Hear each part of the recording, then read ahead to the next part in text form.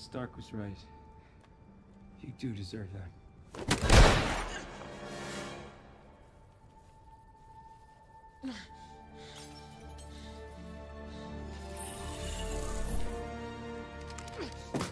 You can't trick me anymore. People need to believe. And nowadays,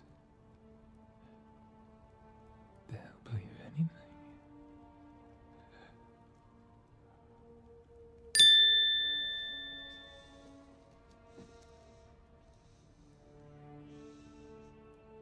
EDITH. Is this real? All illusions are down, Peter.